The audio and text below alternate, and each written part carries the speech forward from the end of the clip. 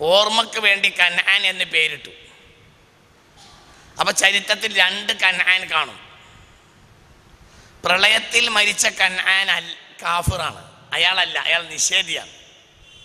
എന്നാൽ നൂഹ് നബിയുടെ മകന്റെ മകൻ ഒരു കന്നാനുണ്ട് അയാൾ മൂമിനാണ്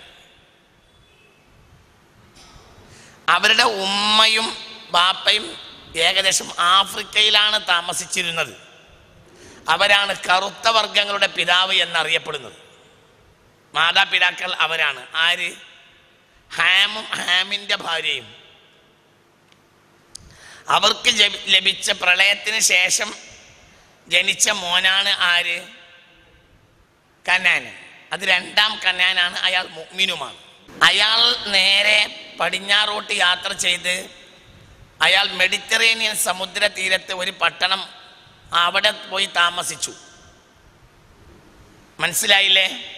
അയാളുടെ മകനാണ് സലാം അയാൾ മെഡിറ്ററേനിയൻ സമുദ്ര തീരത്ത് ഒരു സമുദ്രത്തിനടുത്ത് ഉള്ള ഒരു പ്രദേശത്ത് അയാൾ ഒരു പടച്ചോൻ ആരാധിക്കാൻ വേണ്ടി ഒരു പള്ളി ഉണ്ടാക്കി. അവരുടെ ഭാഷയിൽ അതിനെ ഓർ എന്ന് പറയും പള്ളിക്ക്. ഓർ. സലാമിന്റെ പള്ളി എന്ന നിലയിൽ ഓർ സലാം എന്നതിനെ വിളിച്ചു വന്നു. അതാണ് ജെറൂസലേമായി മാറിയത്. മനസ്സിലായോ പറഞ്ഞത്? അതാണ് ഓർ സലാം. ഓർ. സലാമിന്റെ പള്ളി എന്നാണ് പറയുക. അയാൾ വലിയ ആബിദായിരുന്നു സലാം. സലാമിന്റെ ബാപ്പയാണ് കൻആൻ. അത് രണ്ടാം കൻആനാണ്. അയാൾ മുഅ്മിനുമാണ്. ആ നാട്ടിലേക്ക് മനുഷ്യ വികാസത്തെയും ജനതയെയും എത്തിച്ചു ചേർത്ത ആദ്യത്തെ ആൾ കന്നാനായതുകൊണ്ട് ഏകദേശം പിന്നെ ഏകദേശം ഏകദേശം ഏകദേശം സീനായ് മരുഭൂമി മുതൽ മെഡിറ്ററേനിയൻ പ്രദേശം വരെയുള്ള മൊത്തം ദേശങ്ങൾക്ക് കനാൻ നാട് എന്ന പേരിൽ അറിയപ്പെടുന്നു. കനാനികൾ എന്ന് പറയും അവരെ. കനാൻ ദേശം എന്നും അവരെ ബൈബിളിൽ കാണാം. അവിടെ പിന്നെ ഒരു ഭാഷ വികസിച്ചു വന്നു. അതാണ് ഹിബ്രു. ഇബ്രാനിയ എന്ന് പറയും ഹിബ്രു എന്ന് പറയും. അദീം എന്ന എന്ന വാക്കിന്റെ വാക്കിൽ നിന്നാണ് ആദം എന്ന വാക്ക് ഉണ്ടായത് എന്ന് അനുമാനിക്കപ്പെടുന്നു. അദീം മേൽമണ്ണ്. ആദം മേൽമണ്ണിൽ നിന്ന് എടുത്തുണ്ടാക്കപ്പെട്ടവൻ എന്ന അർത്ഥത്തിൽ. മനസ്സിലായില്ല? അറബിയിൽ അദീം എന്ന് പറഞ്ഞാൽ മേൽമണ്ണാണ്. ഹിബ്രുവിലും അദീം എന്നാൽ മേൽമണ്ണാണ്. അപ്പോൾ ആദം എന്നത് അദീമിൽ നിന്നുണ്ടായതാണ് എന്ന് വന്നാൽ ചില ആളുകൾക്ക് അത് അറബിയ എന്ന് പറയാ ചില ആളുകൾക്ക് അത് ഹിബ്രു ആണെന്ന് പറയാം. കാരണം ഈ വാക്ക് രണ്ടിലും ഒന്നാണ്. നിങ്ങൾക്ക് പറഞ്ഞത് മനസ്സിലായില്ല? മനസ്സിൽ അദീം എന്ന വാക്ക് ആദം എന്ന വാക്ക് അറബിയോ അനറബിയോ എന്ന ഒരു തർക്കമുണ്ട് പണ്ഡിതന്മാർക്കിടയിൽ. മനസ്സിലായില്ലേ പറഞ്ഞത്? രണ്ടാണെങ്കിലും തെറ്റല്ല. എന്തുകൊണ്ട്? അദീം മേൽമണ്ണ് എന്ന വാക്കിൽ നിന്നാണ് ആദം എന്ന വാക്കുണ്ടായത്. അറബിയിൽ അദീം എന്ന് പറഞ്ഞാൽ മേൽമണ്ണാണ്. ഹിബ്രുവിൽ അദീം എന്ന് പറഞ്ഞാലും മേൽമണ്ണ് തന്നെയാണ്. അപ്പൊ പിന്നെ ഇനി ഇതിൽ നിന്നുണ്ടായാലും അതുണ്ടായാലും അറബിയ എന്ന രണ്ടും ഒരു വാക്ക് സാമ്യപ്പെട്ട വാക്കാണ് രണ്ടും ഒന്നാണ്. അതിനുള്ള കാരണം എന്താണ്? ഉദാഹരണം ചെന്തമിഴിലുള്ള പല പ്രയോഗങ്ങളും മലയാളത്തിൽ കാണാം. എന്തുകൊണ്ട്? ചെന്തമിഴിന്റെ പരിഷ്കൃത ഭാവമാണ് എന്ത്? മലയാളം. മനസ്സിലായോ നിങ്ങൾക്ക്? കന്നഡയുടെയും ചെന്തമിഴിന്റെയും സങ്കലനമാണ് എന്ത്? മലയാളം. അപ്പൊ തമിഴിലുള്ള പല വാക്കുകളും എവിടെ കാണാം? മലയാളത്തിൽ കാണാം. അതിനെ നോക്കിയ ഒരാൾ അത് മലയാളം എന്ന് പറഞ്ഞാലും തെറ്റല്ല. തമിഴാന്ന് പറഞ്ഞാലും തെറ്റല്ല. രണ്ടു പറയാം. തമിഴാന്ന് പറഞ്ഞാലും മലയാളം രണ്ടു തെറ്റാവൂല. അപ്പൊ എന്നതുപോലെ പറഞ്ഞു കൊണ്ടുവരുന്നത് ആദം എന്ന ഭാഷ എന്താണ്? അറബിയോ അനറബിയോ. ആ വാക്കിന് അദീം എന്ന വാക്കിൽ നിന്നാണ് ആദം എന്ന വാക്കുണ്ടായതെന്നാണ് പ്രധാനപ്പെട്ട അഭിപ്രായം. അദീം എന്നാൽ മേൽമണ്ണ്. ഞാൻ ഈ മേൽമണ്ണിനെ പറ്റി ഒരു ഒരു കഥ പറഞ്ഞുതരാം. ബഹുമാനപ്പെട്ട ഖത്തീബുൽ ബഗ്ദാദി റസിയുള്ളാഹുവിന്റെ താരീഖുൽ അംബിയ ആണ് ഇത് ഈ കിതാബ്. അദ്ദേഹം വളരെ പഴക്കം ചെന്ന ഇമാമിങ്ങളിൽ ഒരാളാണ്. അദ്ദേഹം വഫാത്താകുന്നത് ഹിജറ നാനൂറ്റി അറുപത്തി മൂന്നിലാണ് വലിയ മഹാനാണ് അദ്ദേഹം. ഖത്തീബുൽ ബഗ്ദാദി താരീഖിന്റെ ലോകത്ത് ഒരു എണ്ണപ്പെട്ട മഹാനാണ്. അദ്ദേഹത്തിന്റെ ഈ മേൽമണ്ണ് എന്ന് പറയുമ്പോൾ ഞാൻ അതിനെക്കുറിച്ചൊരു ഗവേഷണം പറയാണ്. ഇത് കുറച്ച് പഠിക്കാനുണ്ട്. നിങ്ങൾ നല്ല നല്ല ചിന്തിച്ചാൽ പിന്നീടുള്ളവർക്ക് ഇത് ഉപകരിക്കും. ഇപ്പം നാളെ വൈകുന്നേരത്തോട് നെറ്റിൽ കയറും. പഠിക്കുന്ന ആളുകൾക്ക് ഉപകരിക്കുമല്ലോ എന്ന് വിചാരിച്ചാൽ ഗവേഷണ ബുദ്ധിയോടുകൂടെ പറയുന്നത്. ഇനി വേറെ ഞാൻ പറയും. അടുത്ത ആഴ്ച വേറൊരു വിഷയം കൂടി ഇതിൽ കയറ്റി പറയും. ആ അതന്നെ തന്നെ ഇതിന് വേറൊരു വഴി ഞാൻ തുറക്കും. ആദം എന്ന ചർച്ചയിൽ ഒരു കുറച്ച് വഴി ഞാൻ പറയും. ഇൻഷാ അല്ലാ അതിങ്ങൾക്കൊരു വലിയ ആശയം തുറന്നു കിട്ടും. നോക്കൂ. ഈ മ- മ- എന്ന വാക്ക് പറയുമ്പോൾ ഞാൻ അവിടെ നിങ്ങൾക്ക് പിന്നെ മേൽമണ്ണ് എന്ന വാക്കിൽ നിന്നാണ് അദീം മേൽമണ്ണ് എന്ന വാക്കിൽ നിന്നാണ് എന്തുണ്ടായത്? ആദമുണ്ടായത് എന്ന് പറയുമ്പോൾ അതിന് ഉപോത്ബലകമായ ഒരു ചരിത്രം ഞാൻ പറഞ്ഞുതരാം. ബഹുമാനപ്പെട്ട ഖത്തീബുൽ ബഗ്ദാദി തങ്ങൾ തന്റെ താരിഖുൽ അമ്പിയായി രേഖപ്പെടുത്തുകയാണ്. അദ്ദേഹത്തിൽ നിന്ന് ഞാൻ വായിക്കുകയാണ്. കിതാബ് അങ്ങനെ തന്നെ കൊണ്ടുവന്ന് വായിക്കണം. ലമ്മ അറാദുല്ലാഹു താല ഖൽഖ ആദമ. ആദമിനെ പടക്കാൻ അള്ളാഹു താല ഉദ്ദേശിച്ചപ്പോൾ ഔഹ ഇലൽ അർലി ഭൂമിക്ക് വഹി അറിയിച്ചു. ഭൂമിക്ക് വഹി അറിയിക്കൽ സ്വാഭാവികം. ഭൂമിക്ക് വഹി ഉണ്ടാവുന്ന ഖുർആനിൽ തന്നെ ഉണ്ടല്ലോ. ഏത്? അമ്പ്യാക്കളൊന്നും അന്നില്ലല്ലോ. ഭൂമിക്ക് തന്നെയാണ് വഹി അറിയിച്ചു. അത് ഉണ്ടാവുന്ന ഖുർആനിലില്ലേ? യൗമ ഇതിൻ തുഹദ്ദിഥു അഖ്ബാറഹ ബി അന്ന റബ്ബക ഔഹാലഹ. അപ്പൊ ഭൂമിയുടെ വഹി എന്ന് പറഞ്ഞാൽ ആദ്യം ഉണ്ടായിട്ടുണ്ട്. ഇനി അവസാനം ഉണ്ടാവും. ഭൂമിക്ക് വഹി അറിയിച്ചു. എന്താണ് വഹി അറിയിച്ചത്? ഇന്നി ഉരീദുവാൻ അഹ്ലുക മി അഹ്ലുക ആ, മിങ്കി. ഏ ഭൂമിയെ ഞാൻ നിന്നിൽ നിന്ന് പടക്കാൻ ഉദ്ദേശിക്കുന്നുണ്ട്. ഹൽക്കൻ ഒരു സൃഷ്ടിയെ. ഫമിൻഹും ആ സൃഷ്ടിയുടെ പരമ്പരകളിൽ ഉണ്ടാകും. മയുത്തിയോനി എനിക്ക് വഴിപ്പെടുന്നവരും ഉണ്ടാകും. വമിൻഹും അവരിലുണ്ടാകും മ യാസ്വിനി എനിക്ക് വഴിപ്പെടാത്തവരുണ്ടാവും. ഫമൻ അത്വാനി അദ്ഖൽതുഹുൽ ജന്നത്തി വഴിപ്പെടുന്നവരെ ഞാൻ സ്വർഗത്തിലാക്കും വമൻ ആസ്വാനി അദ്ഖൽതുഹുൻ നാറ വഴിപ്പെടാത്തവരെ ഞാൻ നരകത്തിലാക്കുമെന്ന് ആദമിനെ പടക്കണിന് മുമ്പ് എന്നെ ആരോട് പറഞ്ഞു? ഭൂമിയോട് പറഞ്ഞു. കുറെ ആളുകൾ കുറച്ചാളുകൾ സ്വർഗത്തിലുണ്ടാവും. കുറെ ആളുകളെ എന്ന് കേട്ടപ്പോൾ ഫബക്കത്തിൽ അറുതു ഭൂമി കരയാൻ തുടങ്ങി. അന്ത്യനാൾ വരെ നിലക്കാത്ത ഉറവകൾ ഭൂമിയിലുണ്ട്. അത് അന്ന് പൊട്ടിയതാണ്. ബഹറല്ല. എന്ത്? നീരുറവ.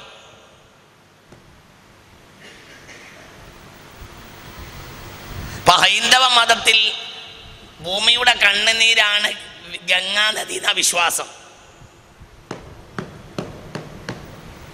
മനസ്സിലാവണ്ട പറഞ്ഞത്?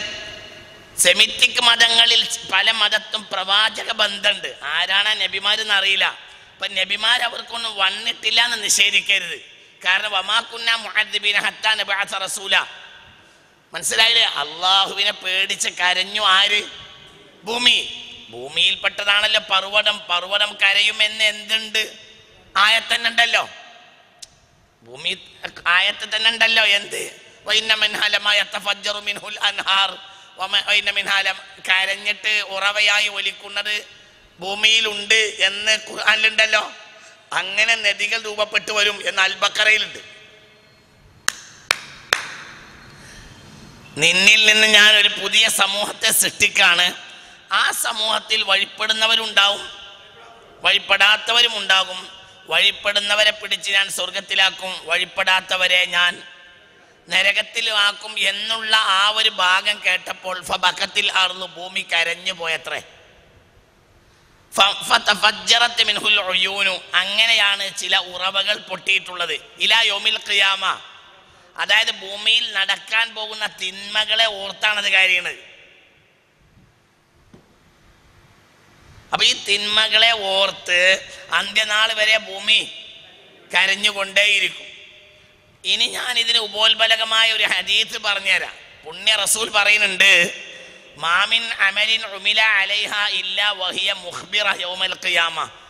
ഇൻ ഖൈറൻ ഫഖൈറുൻ വ ഇൻ ശർറൻ ഫശർറുൻ ഭൂമിക്ക് മുകളിൽ നിങ്ങൾ എന്തു ചെയ്താലും അന്ത്യനാളിൽ അള്ളാഹുവിന്റെ മുന്നിൽ ഭൂമി അത് പറയും. ഇൻ ഖൈറൻ ഫ ഖൈറൂൻ വ ഇൻ ശർറൻ ഫശർറുൻ നിങ്ങൾ ഖൈർ ചെയ്താൽ ഭൂമി ഇയാൾ എന്റെ മേൽ ഖൈർ ചെയ്തിട്ടുണ്ടെന്ന് പറയും. നിങ്ങൾ ഷെറ് ചെയ്താൽ ഇയാൾ എന്റെ മേൽ ഷെറ് ചെയ്തിട്ടുണ്ടെന്ന് പറയും. ആര് പറയും? ഭൂമി പറയും. അപ്പൊ ഭൂമിയെ സംബന്ധിച്ചിടത്തോളം നല്ല ഒരു ബോധമുണ്ട്. ആരെ പറ്റി? ഭൂമിയുടെ തന്നെ ഭാഗമാണല്ലേ നമ്മൾ? മനസ്സിലായില്ല? നമ്മൾ ആരുടെ ഭാഗമാണ്? ഭൂമിയുടെ ഭാഗമാണ്. അപ്പൊ ഞാനിവിടെ പറഞ്ഞു തന്നെ ചിന്തിക്കണം. ആദ്യം ഭൂമിയിലെ മേൽമണ്ണ് എന്ന വാക്കിൽ നിന്നാണ് എന്തുണ്ടായത്? ആദം എന്ന വാക്കുണ്ടായത്. അതിന് ഉപോത്ബലകമായ ഒരു വിഷയ പറയുന്നത്. ഞാൻ നിന്നിൽ നിന്ന് ഇങ്ങനെ പടക്കാണ് എന്ന് പറഞ്ഞപ്പോൾ ഭൂമി കരഞ്ഞു എന്ന്. എന്ന്.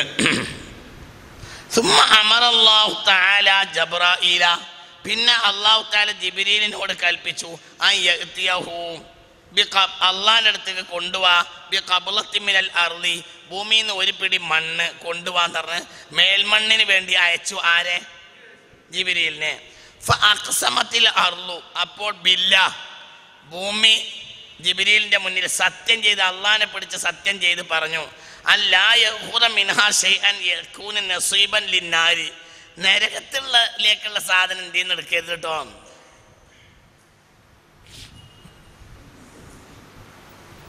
മനസ്സിലായില്ല. അത് അള്ളഹാനോട് വേറെ എവിടുന്നെങ്കിലും പടക്കാൻ പറേ. നിന്റെ തടിമന്ന് എടുക്കണത് മൊത്തം എവിടേക്കാവണം? സ്വർഗത്തിലേക്കാകണം എന്ന് പറഞ്ഞ് അള്ളഹാനെ പിടിച്ച് സത്യം ചെയ്ത് ജിബിരിയിലെ നിങ്ങൾ എന്റെ തടിമന്നൊരു മണ്ണ് എടുക്കുകയാണെങ്കിൽ അത് എവിടേക്കാക്കണം? സ്വർഗത്തിലേക്കാക്കണം നരകത്തിലേക്ക് നസീബായ ഒന്നും ഇന്ത്യയിൽ നിന്ന് എടുക്കരുതേ. അള്ളാനെ പിടിച്ചാൽ സത്യം ചെയ്ത് പറയാണ് എന്ന് ആര് പറഞ്ഞ്? ഭൂമി പറഞ്ഞു ആരോട്? ജിബിരിൽ അലൈഹി സ്വലാത്തു വസ്സലാമിനോട്. എന്ന് വലം ഒന്നും എടുക്കാതെ ജിബിരിൽ അള്ളാഹുവിന്റെ സന്നിധിയിലേക്ക് തിരിച്ചുപോയി കാരണം അള്ളാഹിനെ പിടിച്ച് സത്യം ചെയ്ത് പറഞ്ഞിട്ട് പിന്നെ എതിര് ചെയ്യാൻ ആർക്ക് കഴിയില്ല? ജിബിരിന് കഴിയില്ല എന്നാലാട്ടെ ഇത് നരകത്തിലേക്കുള്ളതും ഈ കൂട്ടത്തിൽ എമ്പാടും ഉണ്ടാവും. ഈ വിവരം ആർക്കറിയാം? ജിബിലിനെ അറിയാം അപ്പൊ പിന്നെ നരകത്തൊക്കെ ഒന്നും കൊണ്ടുപോകില്ല എന്ന് പറയാൻ ജിബിലിനോട്ട് കഴിയൂല അള്ളാഹിനെ പിടിച്ച് സത്യം ചെയ്താൽ അത് തെറ്റിക്കാനും കഴിയില്ല. അങ്ങനെ ഭൂമിയിൽ നിന്ന് ഒന്നും എടുക്കാതെ ജിബ്രീൽ തിരിച്ചുപോയി. അലൈഹിസ്സലാം ഏ? ആകെ അള്ളാഹു കൽപ്പിച്ചാണ്. ഈ കൽപ്പിക്ക കൽപ്പിക്ക എന്ന് പറഞ്ഞാൽ അതിന്റെ അർത്ഥം എന്താണെന്നറിയാ? അവർ ചെയ്യാ ചെയ്യാതിരിക്കുക എന്നുള്ളതല്ല. അതായത് അദ്ദേഹത്തിന് കഴിയണില്ല. ശിക്കായത്ത് ബോധിപ്പിക്കാം. ഇസിയാനും മറ്റും തമ്മിൽ വ്യത്യാസമുണ്ട്. മനസ്സിലായില്ല? അപ്പോ കൽപ്പി കൽപ്പിച്ച് തരങ്ങ ചില കാര്യങ്ങൾ ചെയ്യാൻ കഴിയണില്ല എന്നാണ് തിരിച്ചു പോകുമല്ലോ അല്ലാതെ ഞാൻ ചെയ്യൂല എന്ന് പറയല്ല. എനിക്കതിന് കഴിയണില്ല. അപ്പൊ ഇസിയാനാവൂല കുട്ടിയുടെ സംശയം ചോദ്യം മനസ്സിലായോ? അള്ളാഹു കൽപ്പിച്ചതിന് എതിര് ചെയ്യാത്തവരല്ലേ? മൽക്കളെ പിന്നെന്തേ? അത് അവിടെ ചെയ്യാ ചെയ്യാഞ്ഞു. അത് അതെന്താണ്? ഒരു വേഷമാണ്. അതായത് ഭൂമി ഇങ്ങനെയും പറയാ. അപ്പൊ അതിന് എടുക്കാനുള്ള ഒരു വിഷമം ആർക്ക്? അങ്ങനെ പോയി അള്ളഹാനോട് പറഞ്ഞു അള്ളാ ഞാൻ അങ്ങനെ മണ്ണെടുക്കാൻ ചിലപ്പോ ഭൂമി ഇങ്ങനെയാ പറയണത്. അപ്പൊ അള്ള പറഞ്ഞാ നീ പോണ്ട. അവളെ നിർത്തി. സുമ അമറല്ലാഹു ബിദാലിക മീക്കായിൽ വൈസ്രാഫീൽ പിന്നെ അള്ളാഹു സുബ്ഹാനഹു തല മീക്കായിലിനോയും പറഞ്ഞയച്ചു. പറയേ ഇസ്രാഫീലിനെ പറഞ്ഞയച്ചു. ഫല ഫറജ. അവർ രണ്ടാൾ വന്നപ്പോ അവരോടും ഭൂമി ഇങ്ങനെ തന്നെ പറഞ്ഞു. വലം യൗഹുറ മിൻഹാ ഷൈആ ഭൂമിയിൽ നിന്ന് ഒന്നും ഇസ്രാഫീലും എടുത്തില്ല മീക്കായിലും എടുത്തില്ല. ഇസ്രാഫീൽ അള്ളാഹ് ഇത് എടുക്കാൻ വിഷമാണ് ഭൂമി ഇങ്ങനെയാണ് പറയുന്നത് എന്ന് പറഞ്ഞു. ആയിക്കോട്ടെ എന്നാൽ നിങ്ങളും പോണ്ടാറും. ചിന്തിക്ക്. സുമ്മ അമറല്ലാഹു ബിദാലിക അസ്രായീൽ പിന്നെ അള്ളാഹു സുബ്ഹാനഹു വതആല ആര് പറഞ്ഞേച്ച് അസ്രായിലെ പറഞ്ഞേച്ചു ഫലം യൽതഫിത് ഇലാ ഖസമിഹ. ആ ജാതി വർത്തമാനൊന്നും ആരും ശ്രദ്ധിക്കുന്നല്ല. അസ്രായിൽ അതൊന്നും ആരും നോക്കൂല.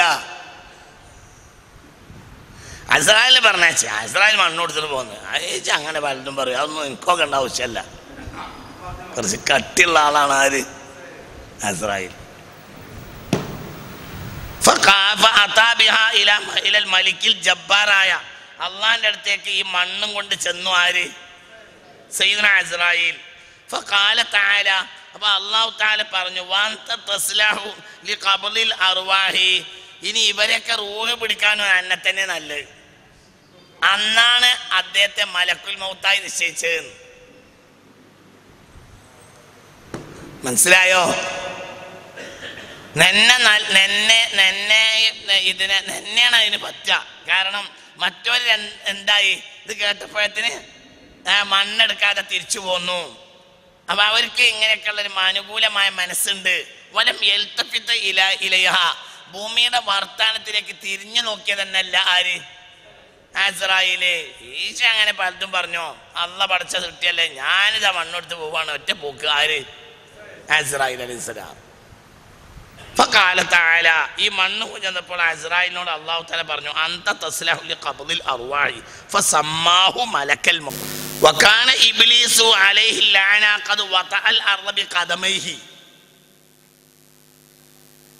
ഭൂമിയിൽ നടക്കാനുള്ള ഒരു അധികാരവും അവകാശവും അള്ളാഹു താല ഇബിലീസിന് കൊടുത്തിരുന്നു. മനസ്സിലായില്ലേ? അങ്ങനെ ഭൂമിയിൽ നടക്കാറുണ്ടായിരുന്നു ആര്?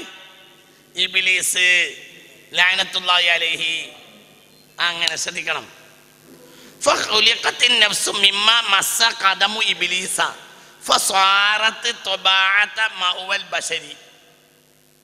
ഇബിലീസ് ചവിട്ടിയ മണ്ണിൽ നിന്നാണ് നഫ്സിനെ എടുത്തത്. മനസ്സിലായില്ല? ഈ പറഞ്ഞത് ജസദാണ്.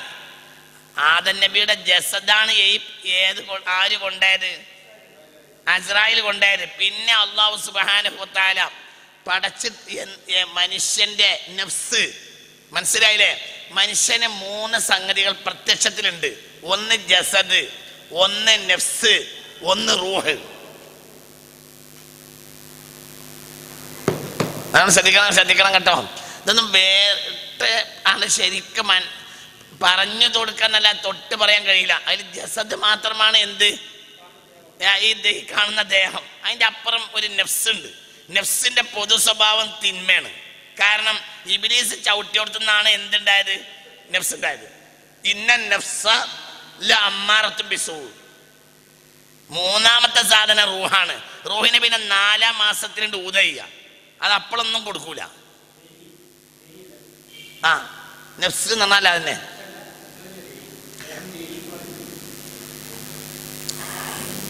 റൂഹ് എന്ന് പറഞ്ഞാൽ ആത്മാവ്. അത് അത് അത് അത് അതൊരു പ്രത്യേക സാധനമാണ് പ്രത്യേക മെറ്റീരിയൽ അറിയപ്പെടാത്ത ഒരു സാധനമാണ് എന്ത്? റൂഹ്. ഭൂമിയിൽ തന്നെ സൃഷ്ടിക്കപ്പെട്ടതാണ് നെഫ്സും ജസദും രണ്ടും. അതിൽ ഇബിലീസിന്റെ കാൽ തൊട്ടടുത്ത് നിന്നാണ് എന്തുണ്ടാക്കിയത് ആദ്യമായി? അതുകൊണ്ട് അതിന്റെ പ്രകൃതി ഇബിലീസിന്റെ പ്രകൃതിയായി. എന്താ ഇബിലീസിന്റെ പ്രകൃതി? എപ്പോഴും എന്തിലേക്ക് പോവാ? തെറ്റിലേക്ക് ഇങ്ങനെ പ്രേരിതനാവുക. മണ്ണിൽ നിന്നുണ്ടാക്കിയ ഒരു സംഗതിയാണ് എന്ത്? നഫ്സും. ജസദ് പോലെ തന്നെ. നേരെ മറിച്ച് റൂഹ് അങ്ങനെയല്ല. റൂഹ് മേലെന്നൊരു പ്രത്യേകമായി തന്നതാ.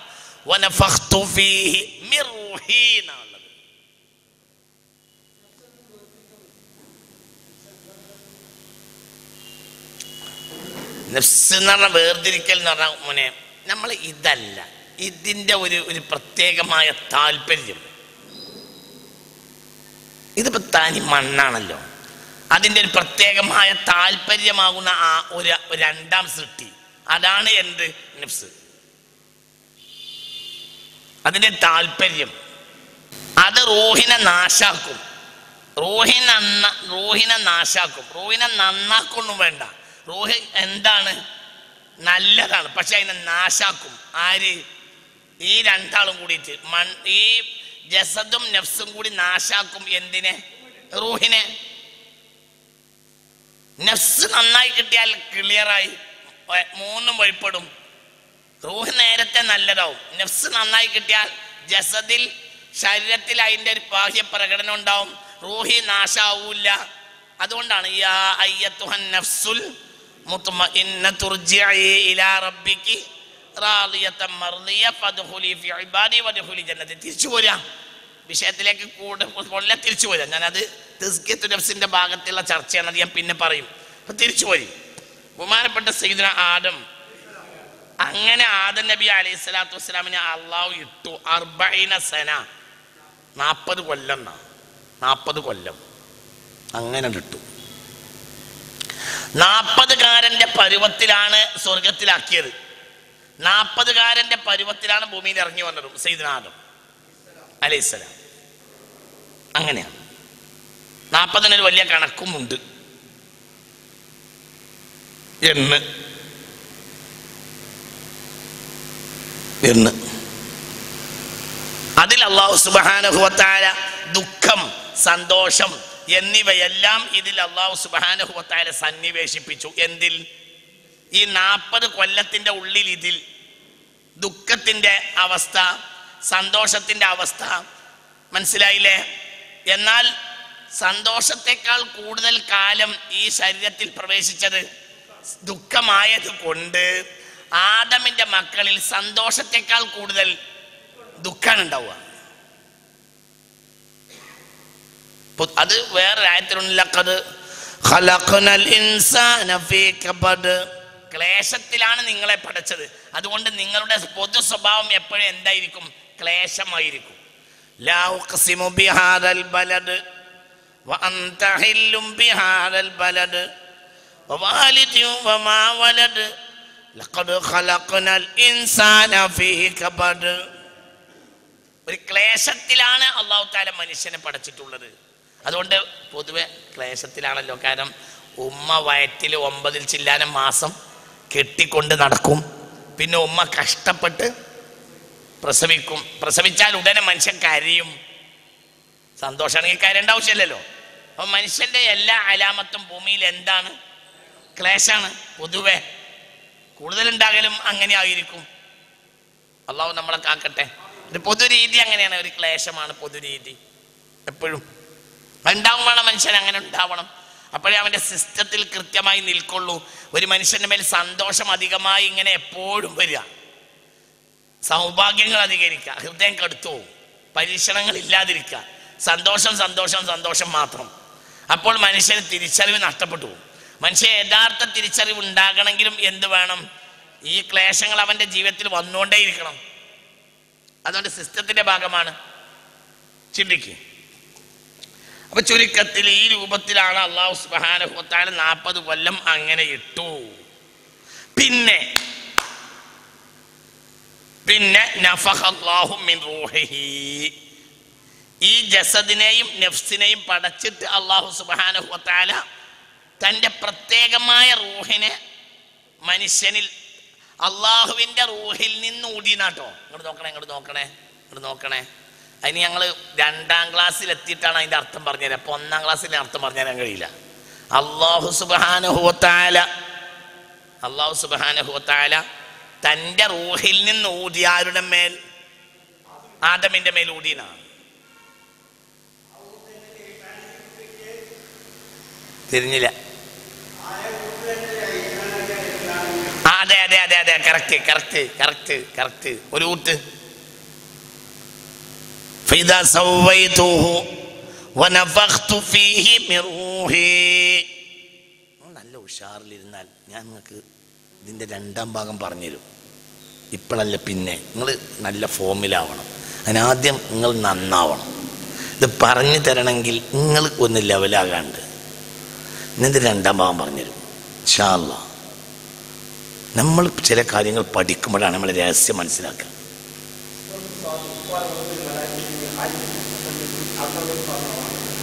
മനുഷ്യനെ ചിന്തിക്കേണ്ട എന്താണെന്ന് ഒരു പ്രത്യേകമായ അവസ്ഥയിൽ മൂന്നാമത്തെ സാധനമാണ് റൂഹ്.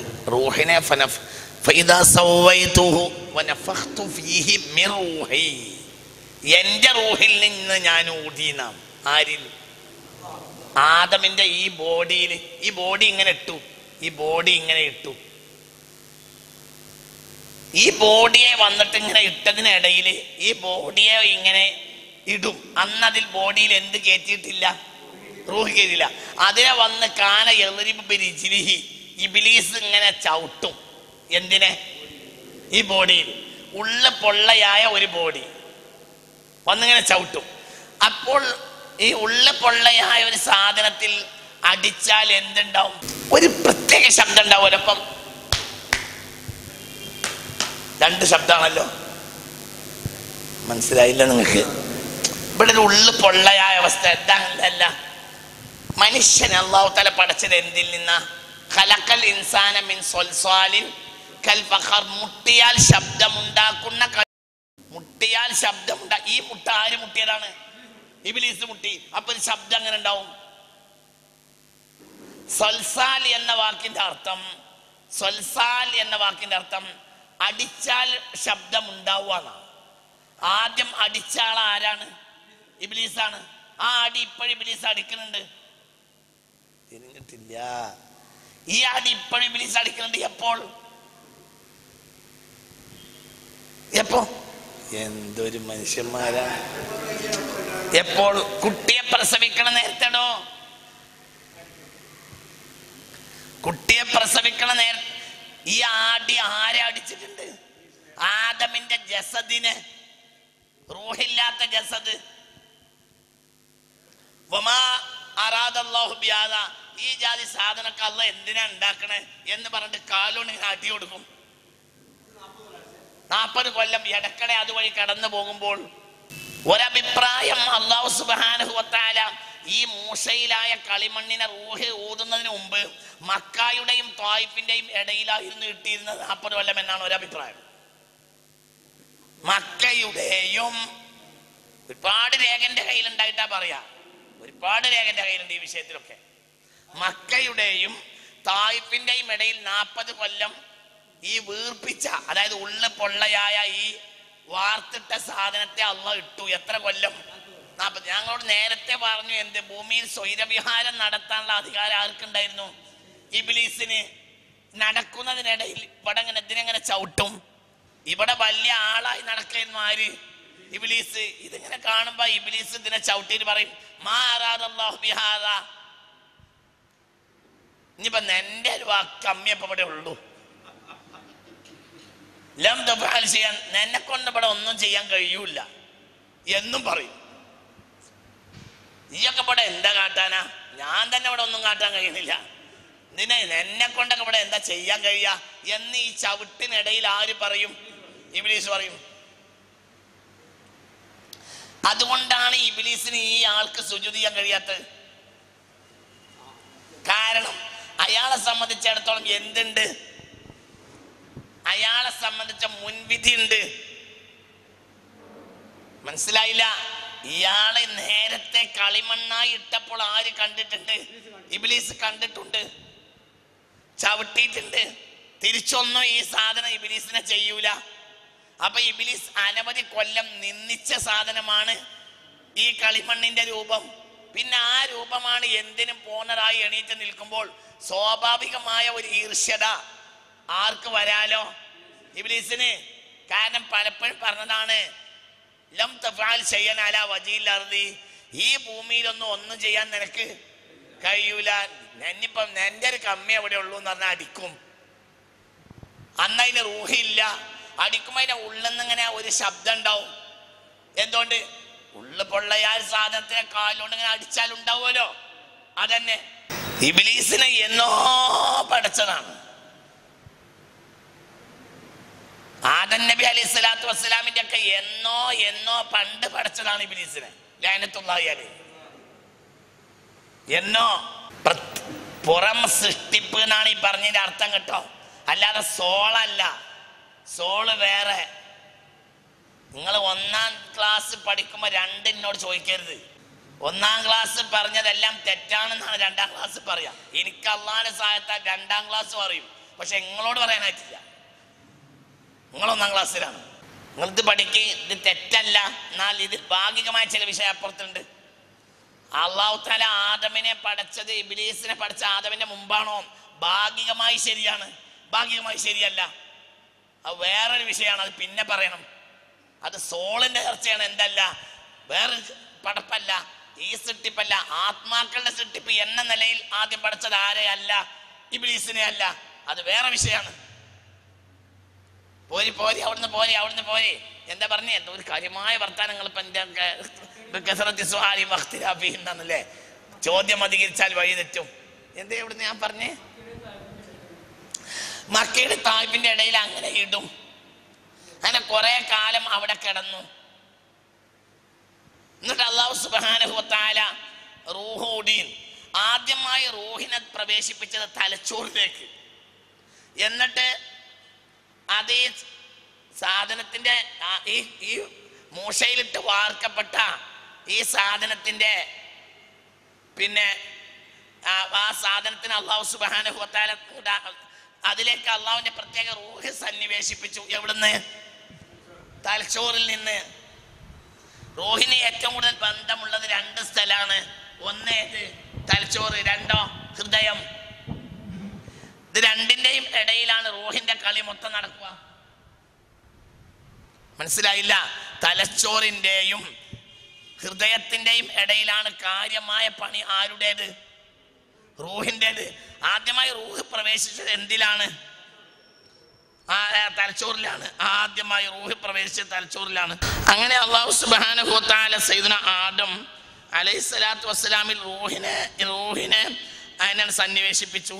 അങ്ങനെ റൂഹ് ആദ നബി അലൈഹി സ്വലാത്തു വസ്സലാമിൽ ഇറങ്ങി. എത്രത്തോളം ഇറങ്ങി എന്ന് പറഞ്ഞാൽ എത്രത്തോളം ഇറങ്ങി എന്ന് പറഞ്ഞാൽ ആദം നബി അലൈഹി സ്വലാത്തു വസ്സലാമിന്റെ പകുതി വരെ അങ്ങോട്ട് എത്തി. എന്ത്? റൂഹ്. അപ്പോഴത്തിന് ആദമു. അപ്പോഴത്തിന് ആദനബിക്ക് എണീക്കാൻ ധൃതിയായി. അതുകൊണ്ട് മനുഷ്യന് അജൂൽ എന്നൊരു പേരിട്ടു അള്ളാഹു താല അജൂൽ ധൃതിയുള്ള സൃഷ്ടി. നിങ്ങൾക്ക് പറഞ്ഞത് മനസ്സിലായില്ല. അള്ളാന്റെ സൃഷ്ടികളുടെ കൂട്ടത്തിൽ വെപ്രാളം കൂടിയ സൃഷ്ടിയാണ് ആര്? ആദമന്റെ മോനെ ആര്? മനുഷ്യൻ. ബാപ്പാക്ക് റൂഹ് ഫുള്ളാണ് ഒപ്പം എണീക്കാൻ നോക്കി. മനസ്സിലായി? നിങ്ങൾക്ക് പറഞ്ഞത് മനസ്സിലായില്ലേ? റൂഹ് എവിടെ എത്തിയിട്ടേ ഉള്ളൂ? പകുതി വഴിയിലെത്തിയപ്പോഴത്തിന് തന്നെ ആ എണീറ്റ് പോകാൻ വേണ്ടി നോക്കി. പക്ഷേ ഫലം യക്കതിർ ഈ ഭാഗത്തേക്ക് എന്ത് കയറിയിട്ടില്ല റൂഹ് കയറിയിട്ടില്ല എണീക്കാൻ വയ്യ. അന്ന് അള്ളാഹു മനുഷ്യൻ ഒരു പേരിട്ടു എന്ത്? അജൂൽ. അജിൽ എന്ന ധൃതി. അജൂൽ വലിയ ധൃതിയുള്ളവൻ. ഇൻസാനു അജൂല. മനുഷ്യൻ വളരെ ധൃതിക്കാരനാണ്. വലിയ ധൃതിയാണ് മനുഷ്യന്. എന്തിനു ധൃതിയാണ് മനുഷ്യന്?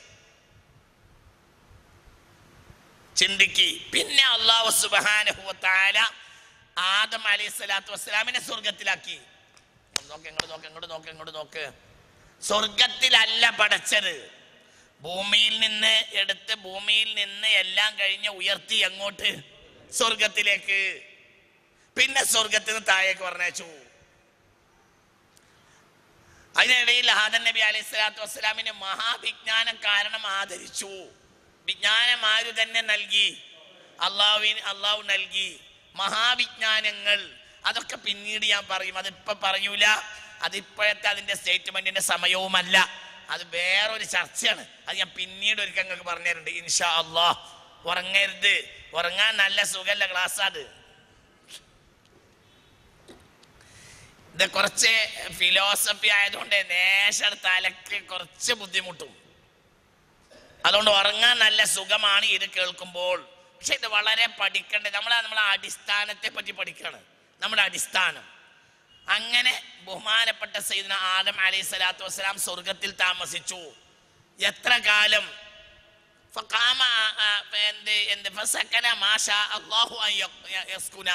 എത്ര കാലമാണോ അവിടെ പാർക്കാൻ ആഗ്രഹിച്ചത്? അത്രയും കാലം അവിടെ താമസിച്ചു. പിന്നെ ബഹുമാനപ്പെട്ട സൈദിന ആദം അലൈഹി സ്വലാത്തു വസ്സലാമിനെ സ്വർഗത്തിൽ നിന്ന് പുറത്താക്കി താഴേക്ക് അയച്ചു. ശ്രദ്ധിക്കണം. അതുമായി സംബന്ധമായ കഥകളൊന്നും ഞാൻ ഇവിടെ പറയണില്ല. അതൊക്കെ നിങ്ങൾക്ക് അറിയണ കഥകളാണല്ലോ എന്നതുകൊണ്ട്. പിന്നെയാണ് ആദം അലൈഹി സ്വലാത്തു വസ്സലാം എവിടെ ഇറങ്ങുന്നത് എവിടെ ഇറങ്ങുന്നത് ഇന്ത്യയിൽ. ഇന്ത്യയിൽ ഇറങ്ങി. ആദം ഇറങ്ങിയത് ഇന്ത്യയിലാണ്. ലോകത്ത് ഇന്ന് വരെയുള്ള പണ്ഡിതന്മാരുടെ വീക്ഷണം അനുസരിച്ച് പ്രധാനപ്പെട്ട വീക്ഷണം കബറു ആദമ ബിൽ ഹിന്ദ്. ആദൽ നബിയുടെ കബറ് ഇന്ത്യയിലാണ് ഒയറു മഹറൂഫ് എവിടെയാണെന്ന് അറിയൂല. നിങ്ങൾ എന്തിനാ പേടിക്കണ ഇന്ത്യക്കാര്? വല്ലാത്തൊരു നാടല്ല ഇത്? ഇവിടെ ആര് കിടക്കണുണ്ട് ആദം അലൈഹിസ്സലാം ഒയറു മാറൂഫ് എവിടെയാണ് ആദമിന്റെ ഖബർ എന്ന്? അറിയൂല.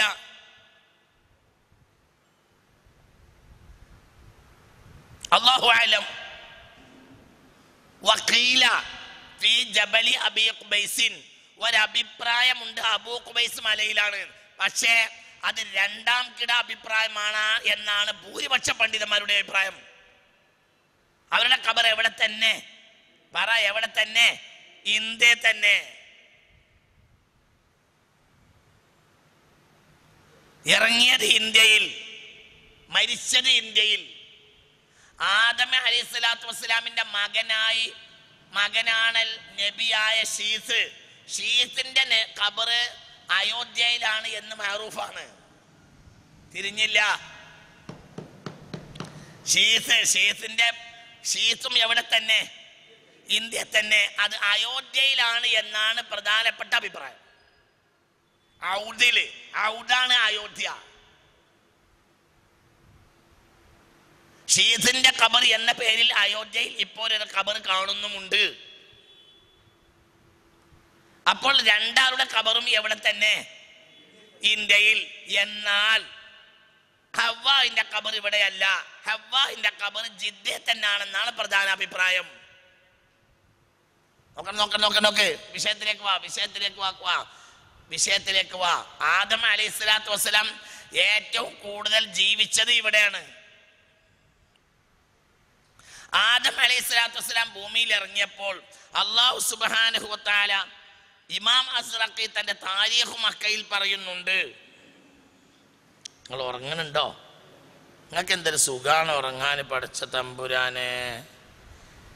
നിങ്ങൾ നല്ല ഉഷാറിൽ നല്ല ആളുകൾ ഉഷാറായി ഉറങ്ങനെ ഉറങ്ങന്നെ. ആദം അലൈഹി സ്വലാത്തു വസ്സലാമിന്റെ പിന്നെ ഭൂമിയിൽ ഇറങ്ങിയപ്പോൾ അള്ളാഹു സുബാനഹുവത്താല കയ്യലല്ലാഹു ലഹു മലക്കൻ. ആദം അലൈഹി സ്വലാത്തു വസ്സലാമിന് അള്ളാഹു തല മലക്കിനെ ഏർപ്പെടുത്തി കൊടുത്തു. അങ്ങനെ എങ്ങോട്ട്? ഇല മക്ക എങ്ങോട്ട്? മക്കയിലേക്ക് ഇറങ്ങിയ ഉടനെ ഖയ്യലല്ലാഹു ലഹു മലക്കൻ. ഹിമാലയത്തിൽ ഇറങ്ങിയ അഭിപ്രായം ഞാൻ നിങ്ങളോട് പറഞ്ഞു. പറഞ്ഞിട്ടുണ്ട് കഴിഞ്ഞ ക്ലാസ്സിൽ പറഞ്ഞു ഹിമാലയത്തിലാണ് ഇറങ്ങിയത്. ഇതാണ് പ്രധാനപ്പെട്ട അഭിപ്രായം. ശ്രീലങ്കയിൽ ഇറങ്ങി എന്ന രണ്ടാമത്തെ അഭിപ്രായവും ഉണ്ടെങ്കിലും ശ്രീലങ്ക ഇന്ത്യയുടെ ഭാഗം തന്നെയാണ് അക്കാലത്ത്. മനസ്സിലാവുണ്ടോ പറഞ്ഞത്? അത് അങ്ങനെ അഭിപ്രായമുണ്ട്. പക്ഷെ പ്രധാനപ്പെട്ട അഭിപ്രായം മഹാനായ ആദം അലൈഹി സ്വലാത്തു വസ്സലാം ഇറങ്ങിയത് ഇന്ത്യയിൽ ഇന്ത്യയിലാണ് ഹിമാലയത്തിന്റെ മുകളിലാണ്. പിന്നെ അള്ളാഹു സുബാനഹുത്താല ആദം അലൈഹി സ്വലാത്തു വസ്സലാമിനെ ഒരു മലക്കിനെ ഏർപ്പെടുത്തി കൊടുത്തു. എങ്ങോട്ട് പോകാൻ? മക്കയിലേക്ക് പോകാൻ മലക്കിനെ ഏർപ്പെടുത്തി കൊടുത്തു. ആ മലക്ക മുഖാന്തരം മക്കയിലേക്ക് പോയി സയ്യിദിന ആദം അലൈഹി സ്വലാത്തു വസ്സലാം തന്നെ ചില ഏരിയകളിൽ ആ യാത്രയിൽ ആദം വിശ്രമിച്ചിട്ടുണ്ട്. ആ ഏരിയകളെല്ലാം ജനവാസ കേന്ദ്രമായി പിന്നീട് മനസ്സിലായോ ജനവാസ കേന്ദ്രമായി പിൽക്കാലഘട്ടത്തിൽ ഇതൊക്കെ എന്നൊക്കെ താരിഖിൽ കാണാം. മനസ്സിലാണ്ട് പറഞ്ഞത് ഇങ്ങനെ.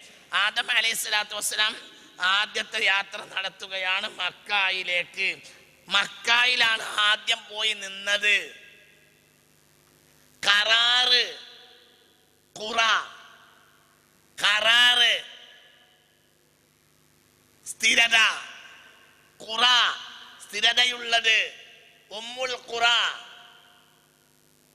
നിങ്ങൾ എന്റെ കൂടെ ഇല്ല. കറാറ് എന്ന വാക്കിൽ നിന്നാണ് കറിയ. കറിയയിൽ നിന്നാണ് ഖുറ. ഉമ്മുൽ ഖുറ എന്നാണ് എന്തിന്റെ പേര്? മക്കയുടെ പേര് നിങ്ങൾ എന്റെ കൂടെ വരണം കേട്ടോ നിങ്ങൾ മനസ്സിലാക്ക്.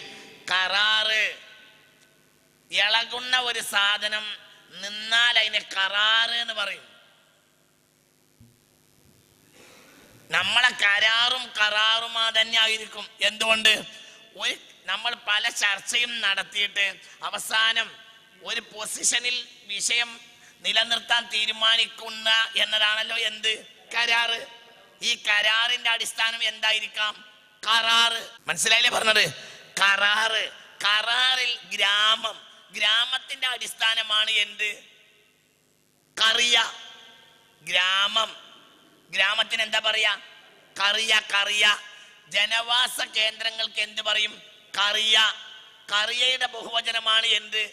കുറ. കരാർ എന്ന വാക്കിനോട് ഇതിനൊക്കെ സാമ്യമുണ്ട്. കരാറ്. സ്ഥിരത നേടുന്നത്. മനസ്സിലായില്ലേ പറഞ്ഞത്? കുറ. പിന്നെ അതിൽ നിന്നാണ് എന്തുണ്ടായത്? ഉമ്മുൽ കുറ. ഈ ഇറങ്ങിയിട്ട് ഓട്ടത്തിൽ പോയി നിന്നത് എവിടെയാണ്? മക്കയിലാണ്. അതുകൊണ്ട് മക്ക എന്തായി അറിയപ്പെട്ടു? ഉമ്മുൽ ഖുറ. നിങ്ങൾ ഉറങ്ങണം ഞാൻ പറയില്ലട്ടാ. ഞാൻ ഇതിന്റെ രണ്ടാം ഭാഗം പറയുമ്പോൾ എനിക്ക് നിങ്ങൾക്ക് നല്ല ഉഷാറിലിരുന്നാലേ പറയൂ. അതുകൊണ്ട് ശ്രദ്ധിക്ക് ശ്രദ്ധിക്ക് ശ്രദ്ധിക്ക്. ഉദാഹരണം പറയാം. മനുഷ്യന് വന്നപ്പോൾ മനുഷ്യൻ ഈ ഭൂമിയിൽ വന്നപ്പോൾ ആദ്യം തന്നെ മനുഷ്യന് സ്ഥിരത കിട്ടിയത് എവിടെയാണ്? മക്കയിലാണ്. അതുകൊണ്ട് മനുഷ്യ പ്രകൃതിയാണല്ലോ യഥാർത്ഥ മനുഷ്യ പ്രകൃതിയാണ് പിന്നീട് ആരായി തീരുക ഇസ്ലാം എന്നത് പ്രകൃതി മതമല്ലേ? പ്രകൃതി മതം എന്നാൽ എന്താ അതുകൊണ്ട് ഉദ്ദേശിക്കുന്നത് അതായത് മനുഷ്യന്റെ പ്രകൃതി ശുദ്ധമായി തീരുമ്പോൾ എത്തിച്ചേരുന്ന സ്വമേധയാ അംഗീകരിക്കുന്ന വ്യവസ്ഥിതിയാണ് പ്രകൃതി മതം.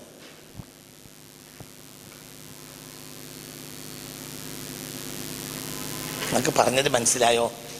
ചോറുണ്ട് കല്ലുണ്ട് മണ്ണുണ്ട് ചോറുണ്ട്. ബുദ്ധി കുറഞ്ഞ ആളുകൾ മണ്ണ് തിന്നും. ബുദ്ധി നേരെ തിന്നാൽ ചോറും തിന്നും. അപ്പൊ ചോറ് തിന്നൽ പ്രകൃതിദത്തമാണ് പ്രകൃതി വാസനയാ. മണ്ണ് തിന്നൽ പ്രകൃതി വിരുദ്ധാണ്. ഒന്നിന്റെ കൂടെ വരും മനുഷ്യന്മാരെ. നിങ്ങൾക്ക് പറഞ്ഞ് നിങ്ങൾക്ക് പറഞ്ഞ് മനസ്സിലാവുന്നില്ലെങ്കിൽ ഞാൻ അവസാനിപ്പിക്കാം. നിങ്ങൾക്ക് പറയണ മനസ്സിലാവുന്നുണ്ടോ നിങ്ങൾക്ക് പറയണ എല്ലാം ചിന്തിക്കണം കേട്ടോ ചിന്തിക്കണം.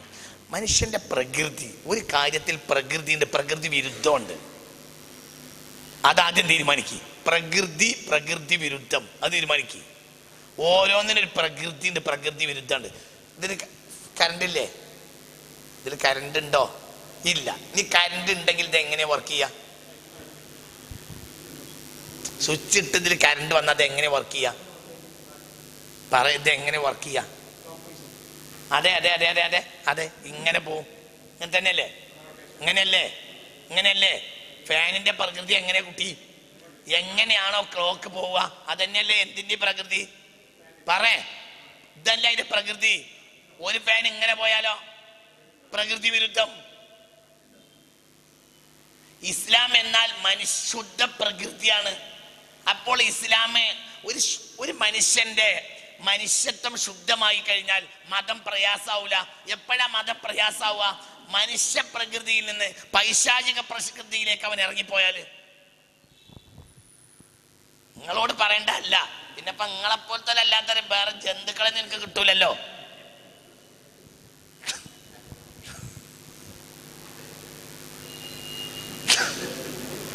എന്റെ വാപ്പ പറയും എന്നെ പോലത്തോരോടല്ലാതെ ഞാൻ വല്ല കന്നാളോട് വർത്താനം പറയാൻ കാര്യമില്ലല്ലോ എന്ന് വിചാരിച്ചിട്ടാണ് എന്നോട് പറയുന്നത്. നിങ്ങൾക്ക് പറഞ്ഞ മനസ്സിലായോ? വാപ്പ പറഞ്ഞിരുന്നു പണ്ട്. എന്നതുപോലെ. ഞാൻ നല്ലോണം ചിന്തിക്കി. ഇസ്ലാം എന്ന്. അന്തം വിട്ട് ഇരിക്കല്ലി ചങ്ങാതിമാരെ. ഒരു കാര്യം മനസ്സിലാക്കി. ഇസ്ലാം എന്ന് പറഞ്ഞതിന്റെ അർത്ഥം എന്താ?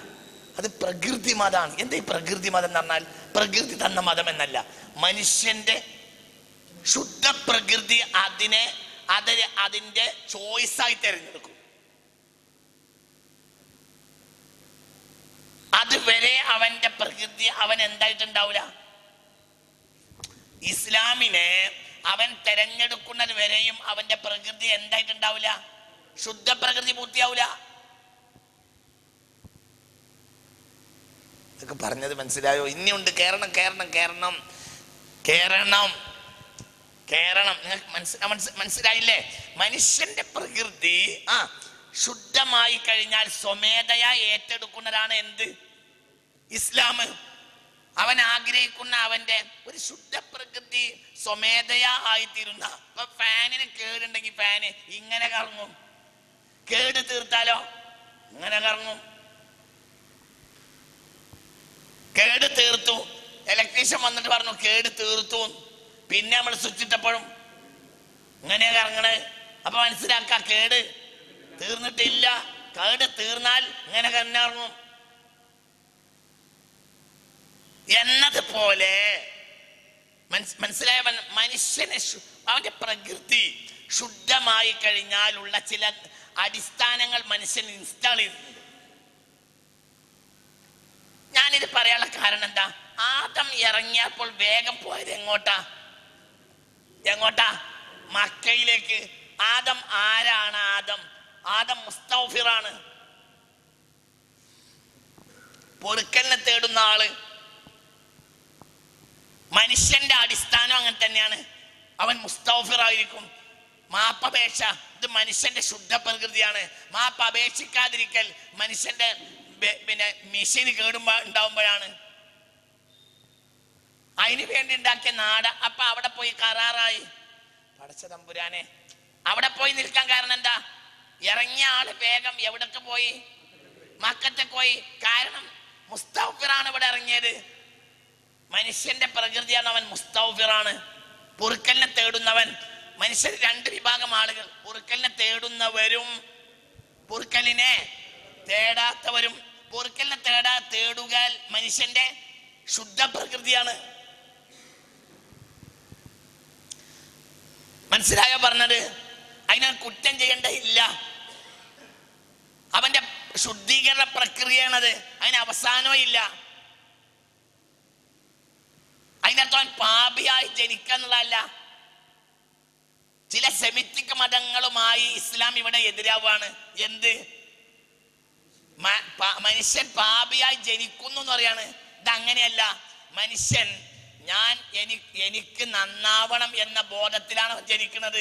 അവൻ നാശമാകുന്നതിനെ ഭയപ്പെടുകയും നന്നാവുമോ? നാശമായി പോകുമോ എന്ന ഒരു ആധിയാണ് അതാണ് ഇസ്തോഫാർ അതിനു വേണ്ടി ഉണ്ടാക്കിയ കെട്ടിടമാണ് ഏത്? കഴബ അവിടെ പോയി നിന്നു ആര്? ആദമ് അതുകൊണ്ട് ഇന്നും കാബക്ക് ഒരു പേരുണ്ട്. ഇത്.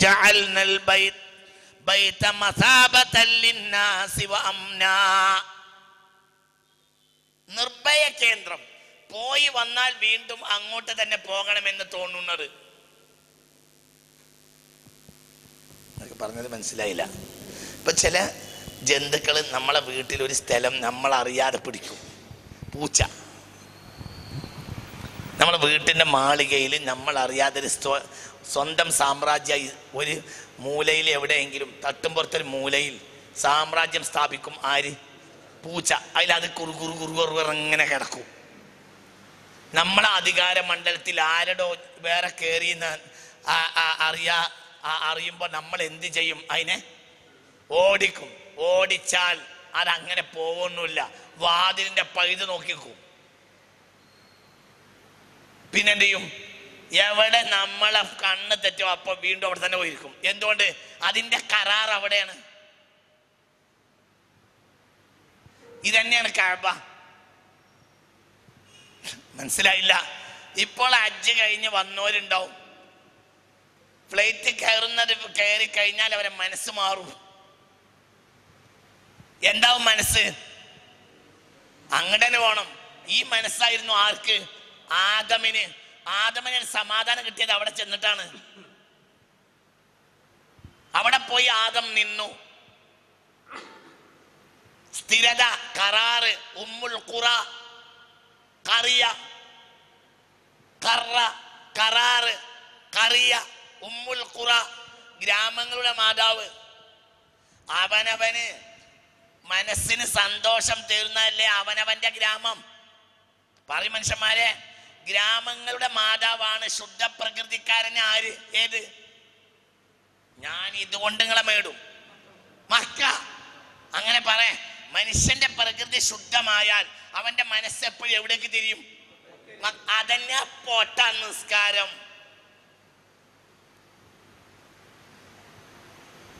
എല്ലാം ഞാൻ പറഞ്ഞു കഴിഞ്ഞ് ഇനി ചീരണി വാങ്ങിത്തരും ഇത് നിസ്കാരത്തിന്റെ ഫിലോസഫിക്കൽ ബേസായി പറഞ്ഞു.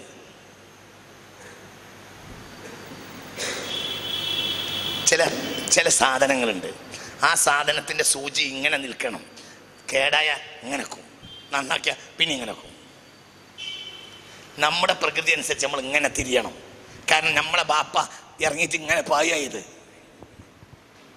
അപ്പാച്ചിലാണ് നമ്മൾ ഇപ്പോഴും പായണത് എന്ത്? നിസ്കാരം. മനുഷ്യൻ രണ്ട് വിഭാഗം. നിസ്കരിച്ചിട്ടില്ലെങ്കിൽ വിഷമമുള്ളവർ നിസ്കരിക്കാൻ വിഷമമുള്ളവർ അവന്റെ പ്രകൃതി ശരിയാവുമ്പോൾ നിസ്കരിച്ചില്ലെങ്കിൽ വിഷമാവും. സൂചി ക്ലിയർ ആണെങ്കിൽ ആ ആ ഉപകരണം ശരിയാണെങ്കിൽ ക്ലിയർ ആണെങ്കിൽ നമ്മൾ എത്ര പിടിച്ചാലും നമ്മൾ വിട്ടാൽ അങ്ങനെ തിരക്കും ഒരു പാവക്കുട്ടി ആ പാവക്കുട്ടിയുടെ മുഖം എങ്ങനെയാണ് നോക്കുക? നമ്മൾ അതിനെ പിടിച്ച് ഇങ്ങനെ തിരിച്ചാൽ മനസ്സിലായില്ല. എന്തോ സ്ക്രൂമ്മ തിരിയുന്നിട്ട് നമ്മൾ ഇങ്ങനെ തിരിച്ചാൽ നമ്മളെ കൈയിട്ടാൽ അങ്ങനെ നിൽക്കും കാരണം അതിന്റെ തിരിച്ചിൽ എങ്ങോട്ടാണ്? അതിന്റെ വള എങ്ങോട്ടാണ്? ഇങ്ങനെ കേടാക്കിയാൽ എങ്ങോട്ട് തിരിക്കാൻ കഴിയുള്ളൂ. എന്നതുപോലെ മനുഷ്യൻ ശുദ്ധ പ്രകൃതിയായാൽ അവൻ എങ്ങോട്ട് തിരിയും? അവന്റെ ബാപ്പാക്ക് ബാപ്പാക്ക് മനസ്സമാധാനം കിട്ടിയോടത്തേക്ക് തിരിയും. അതാണ് അഞ്ചു വക്കത്തിലുള്ള നിസ്കാരം.